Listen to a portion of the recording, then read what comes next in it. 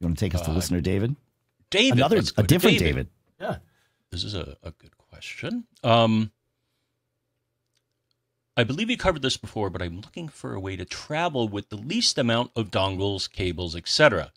I have a MacBook Air, an iPad, Apple Watch, and iPhone. Do you have a preferred solution? Um, you know, you're going to have to do this on a case by case basis. Um, unless all your peripherals are USB C, but I highly doubt that. Sure.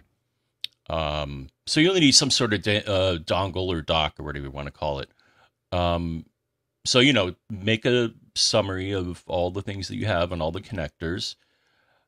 Um, for example, I just traveled and Anker had provided a couple of docks uh, to both me and you, I think, and the one that I brought with me was exactly what I needed. Is that it had um, uh, an Ethernet port in case there was an Ethernet port to plug into versus Wi-Fi. Um, and this hotel actually did have an Ethernet cable, Dave. I don't know if it was live, but um, Probably not. Yeah. um, but yeah, I brought an Anker one that had uh, Ethernet port and two USB A ports. So you're talking about a a dongle that connects to your computer to give your computer connectivity to your devices or to the devices in the hotel. Yeah. Yes. Great. So I found the Anker 543 USB-C hub, which I think is probably the current version of of you know what you're talking about here, uh, and I'll I'll put that in the show notes just to just to get us there. So because it's a USB-C hub, it's got some uh, USB-C ports on it. Actually, I don't. Ah, this one doesn't have any USB-A ports, or maybe it does.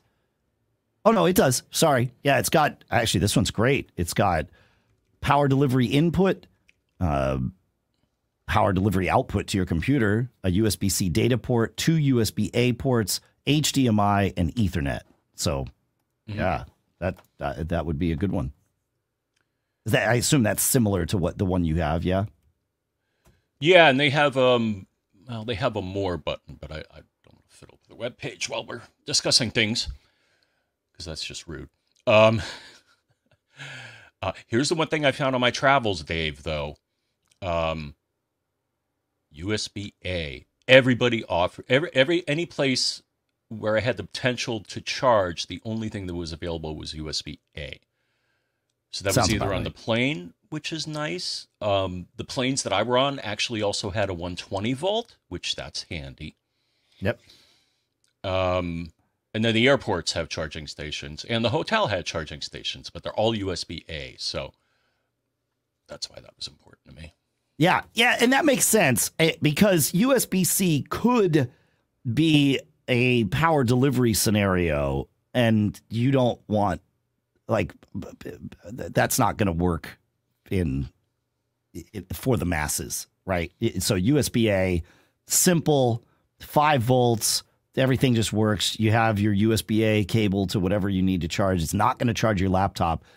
Whereas if you had a USB C cable that was only five volts or USB C port, that you could plug your laptop in, you wouldn't get enough juice out of it, right? So I think it's smart that they stay with USB A for, uh, you know, for sort of the ubiquitous power ports that are in hotel rooms and airplanes and all of that stuff. Yeah. Yeah, of course. The other annoyance is that the is that the phone still has Lightning.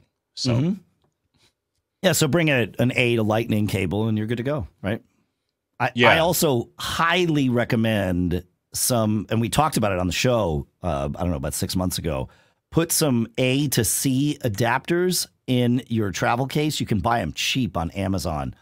And that way, if you if you find yourself in a scenario where all you have is you, you know your your your pile of USB C cables and a USB A port, you're like, oh, good to go. Put them in, done.